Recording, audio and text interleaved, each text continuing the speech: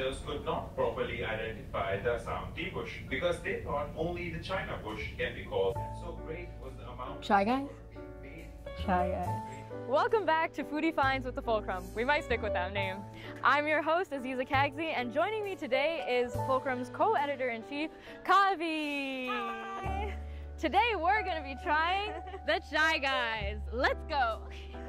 I'm over here at Chai Guys with one of the owners, Huzaifa. Who, can you tell us a little bit about the Chai Guys story and why you guys decided to start up here at U Yeah, for sure. So basically, it was uh, so there's three of us. We all were friends from like best friends from high school, and we went to University of Ottawa as well. So we all like we all wanted to try something business-wise. We all did commerce, and we all you know have jobs and stuff like that in that area. But we definitely wanted to run something. Like my wife is from Dubai, and then Fahid's sister moved to Dubai, and Ozer also went to Dubai. The three owners. While we were there, we were really enjoying the Karak chai there, and we were thinking to ourselves like in university, like we didn't really have too much, especially because we were here when it was transitioning from the um, like the old cap to the new cap, and it was a little bit like messy. But we really wanted like me personally, I can't drink coffee too much. But I found that chai was a lot more calm. It was like I still got the energy needed for studying and working, but um, I don't know what it is, but just for me personally, a lot, a lot of us was we needed chai. So then we thought, why why don't we have Karak chai in Ottawa? We started doing it small events here and there and stuff like that. We started R&Ding it, and our wives really liked it. And uh, basically from there, we thought, you know, this would be really cool on university campus. And uh, we approached university. They were very receptive. They were very helpful. Obviously, their concern is, you know, they want to have the best food experience for for their customers and, and, and for the, their their students, right? So we tried out, and we thought people were pretty receptive to it. They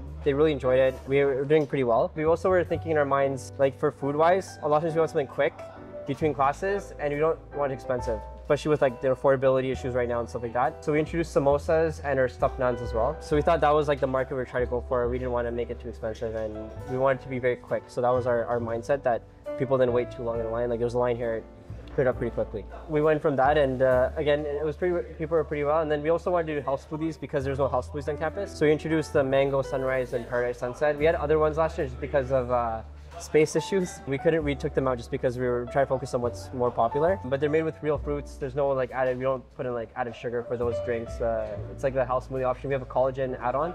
Uh, and all of our products are halal, of course. We just added mango lassi, it's on here, um, and also mojitos and lemonade. But yeah, that's basically our story. It's not too too crazy, but um, we're, we're happy how it turned out.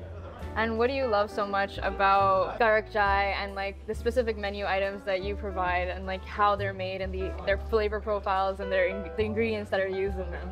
Yeah, so the Karak chai, we did not want to cheap out. So like a lot of times people use powders and stuff like that, or they do the dip chai. So like one was like we want something that has like caffeine amount. So the amount of tea in these Karak chais is very similar to coffee in terms of caffeine. Um, but again, for me, just it hits slower and longer. That's that's for me personally. But we we do everything from like we have the tea leaves, we have the fresh like we, we use real cardamom, we grind it, real cinnamon, grind it, and then we brew it for almost an hour. So that's where it's different. Like it's not like dip tea from other stores. It's it's brewed for an hour, and uh, we had to make it work obviously this location, but we got the same experience. Like normally before we're doing like a big stove in the backyard, um, but uh, this one was a very it was almost exactly the same experience. So that's my personal favorite. That's my go-to for sure. Uh, the karak chai, but um, the other thing was the mango lassi. We didn't really find like one in Ottawa that we really liked. Like they're all like like either too much pulp or too little. So we thought we'd hit that as well. And uh, after a couple months of trying different things out, we got a really good recipe for that as well. So I'm, I'm really into drinks to be honest, and then I really like sweets. But yeah, and then the food wise, I, I love samosa. and uh, especially when I'm hungry, like the tandoori, like if I'm kind of just feeling a small snack, the samosas really hit nicely. But um, if I want a full meal, like the, the stuffed naans, um, it really is. And even the cheese, like we worked really hard to get. Yeah, I'm really excited to try some of the things that you mentioned. It sounds like you have a very comprehensive menu for students that are looking for like a quick bite to eat between classes, something that's budget friendly. So let's try some of those menu items. Thank you so much, Huzaifa. No, so just sorry, just one thing I forgot Yeah. to add, but like we are in the res plan as well Okay. uh, for people on campus. Uh, so like if you use your student card, we do accept that as well. okay, perfect. All right. So we finally got all our food. We have a lot of food over here. Um, we got the za'atar cheese. Was it the za'atar cheese pie? Um, the the strawberry rose mojito, a, a karak chai, a dirty chai, um, a vegetable and beef samosa, and a mango lassi. So let's start. Let's start. So I have the Karak chai, which is basically chai with spices in it. Mm-hmm. Um, and you have the dirty chai, Yeah. which I'm told is chai with coffee in it, Yeah. um, which I've never had before. Yeah. We shall try it. Yeah. Okay. Okay. Oh, fire, as always. So this one, this is very fire, but like it has like a slight bitterness to it that definitely gives you that coffee flavor, but Okay. like it still maintains like the spice blend, that flavor of chai that like so many people love. Chai is traditionally meant to have like a mixture of spices like cinnamon, cardamom, things like that. You know, it also has that kind of like deeper, richer coffee flavor like underlaying it, which I really like. I mean, if I was like honestly craving like a mix of the two, I'd I'd go with this. Yeah. Yeah, okay. This one is very like quintessential like chai. It's very straight up, but that's what I like about it. Shall we try it? Yeah, let's Okay. let's switch. Okay, ready? hmm Oh, bro, we didn't even cheers. Oh. Hey, cheers. yeah, you can definitely taste the coffee in this one. You Yeah. definitely can, but it's good. It's Yeah. like it's almost it's like a spiced coffee basically. Yeah. Yeah. Yeah. Yeah. Yeah. And you know, fun fact about chai, it actually originates from the Assam region of India, which is northeastern India, where it was like a blend of spices that was said to have medicinal properties and was used for various like remedies. As it's developed, the recipe has introduced black tea, milk to it, and it's this rich blend of spices and milk and tea Tea. that, that stretches from like Eastern Asia to mid- the Middle East as well. And like, it's so cool how like this has gone from across the peninsula and is so loved by so many. And there's so many variations of it. Like, Yeah. Karak chai is very loved um, in like the Middle East as well. And I know that the owners were also inspired by their trip to Dubai to tr- introduce this to university students. So yeah, this honestly reminds me a lot of just masala chai that you have in India. So Mhm, it's something, yeah, some a very familiar and a very like warm and rich flavor that like if I need a pick me up, this is what I would get. Yeah, actually, I feel like this is good for when you need the caffeine, when you need that, like, you need the energy for some stuff, but like, this is good as like a warm, comforting, like, sometimes, like, I have a class that is like right down the hall at like 7 p.m. and should I be drinking chai at 7 p.m.? I don't know, but this is like the best thing when you're just like, okay, it's so cold outside, it's like nighttime, I can see like the stars, let me go to my class and have like this warm cup of chai. Mm-hmm. That's it's honestly the best. I don't think anything can beat the OG. Yeah, But, for sure. yeah. Okay, next we have the strawberry rose mojito and also Mango The lassi. mango lassi, which we're really grateful for because it's like 29 degrees. So Yes. let's try that. Cheers. Cheers. Oh, this is nice. yeah.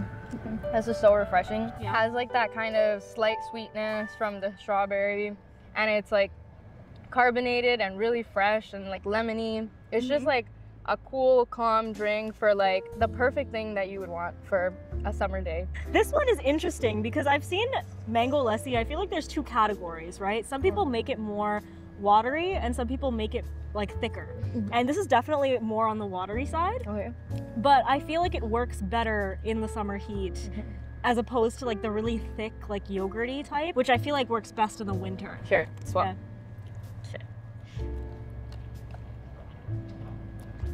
Oh, this is nice. hmm It's got that sourness from like a fresh mango, but it's also sweet. But honestly, like a good mango lassi, like just It lifts your mood. yeah. It lifts your mood. Yeah. Mm-hmm. I think this one is like I'm kind of struggling to place what the flavor is. It all honestly like it's more like a like a candy sort of taste. Like I Mhm. don't even know like I know what is in here, but like when I taste it, it just feels like you're eating like candy. Yeah. Yeah. Which but is it's yeah, it's really good. Yeah. You know, if you're looking for something light, like I feel like you'd go with the mojito. But honestly, if you're looking for something like that will satiate you a bit more, I feel like I'd go with Exactly, the yeah. mango lassi. Yeah. Mhm. Next, let's move on to um, the za'atar pie. Okay, sure. Okay. Here, do you want to go first? Uh sure. Yeah. Next, we have the za'atar and cheese pie. Cheers. I really love this. This is so fresh, and za'atar has that like tangy, earthy taste to it. That like is also complemented by the cheese that's in here. You know, if you're looking for a quick snack that like you maybe had your lunch, maybe you didn't, maybe you just want like something that will keep you going for the rest of the day, this will would definitely be it. Like I don't know if it has nuts in it, but it feels a little like it has that sort of flavor of nuts almost. Mm-hmm. But it's good. It honestly reminds me of like, you know that snack, like the Indian snack, like the, the like, like things that are like they're like the sticks. So za'atar is a spice blend that dates back all the way to the 12th century and originates in Palestine and quickly spread all over the Middle East and is so loved by so many, including a lot of Asians, South Asians, and it went across Asia and the world. Here, Pavel, you try some. How is it, cameraman? Good. Good. Fire. Okay, that's it for Pavel. Okay, next we'll try the samosas. I have the beef one here, and Kavi has the vegetarian one. Because Kavi is vegetarian, and this place is very vegetarian friendly, It so is, it has it a is, lot yeah. of options for that. All right, let's try it. Okay, Cheers. cheers.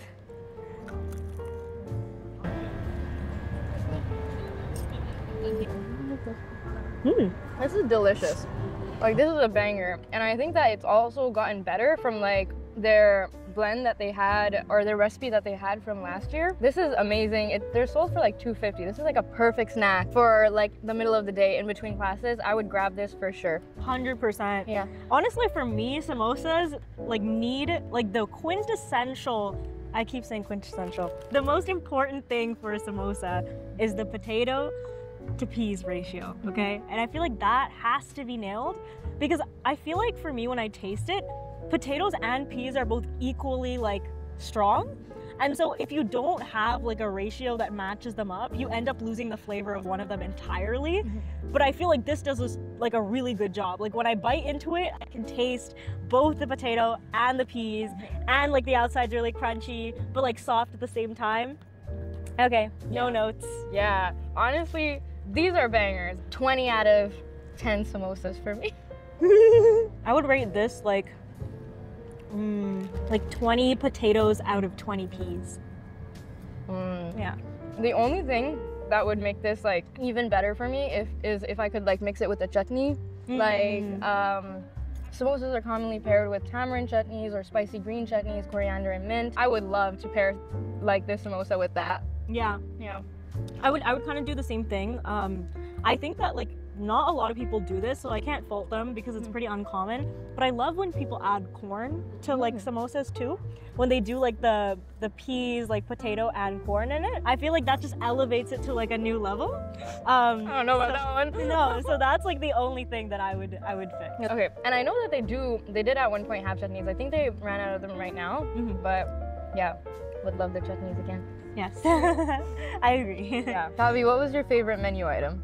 Um, I feel like for like if I were just to like close my eyes, go in there and like choose something like without thinking about it too hard, this is definitely what I'd go for, the karak chai. Mhm. I feel like this is honestly probably my favorite menu item, followed very closely by the dirty chai actually. I was a bit hesitant to try it because I've never had like tea and coffee mixed together. And in my mind I was like I don't even understand how that would work together, but it does work. It works in this. I'm like pleasantly surprised by this one, but like close second to the karak chai for sure. Well, Azeeza, what was your favorite? Honestly, definitely the karak chai, but I would pair that with the beef samosa for sure. What were your favorite items?